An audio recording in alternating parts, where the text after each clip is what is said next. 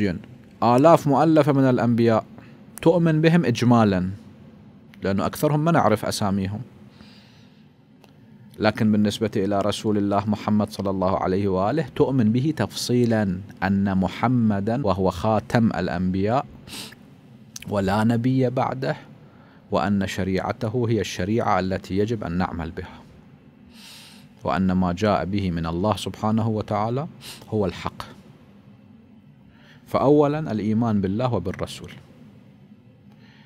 الشيء الثاني اتباع الرسول. أكو ناس يؤمن بالله والرسول لكن لا يتبعه عملا.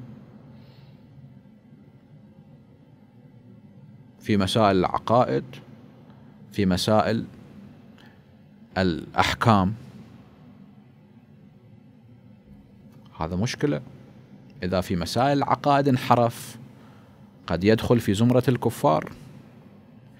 وإذا في الفروع انحرف لم يتبع عصى الله سبحانه وتعالى. فهذا يكون من زمرة العصاة.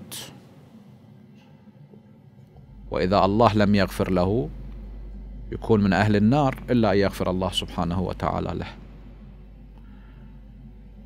هذا الثاني. الأول كان الإيمان بالله والرسول. الشيء الثاني اتباع الرسول.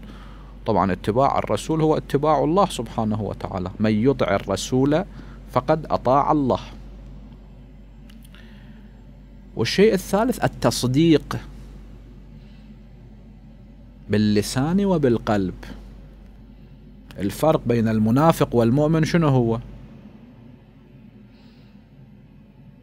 المنافق أيضا يذهب إلى الصلاة ولو بكسل. وإذا قاموا إلى الصلاة قاموا كسالى. الفرق هو أنه المنافق بقلبه لم يصدق لم يعقد قلبه لم يذعن أما المؤمن صدق وأذعن.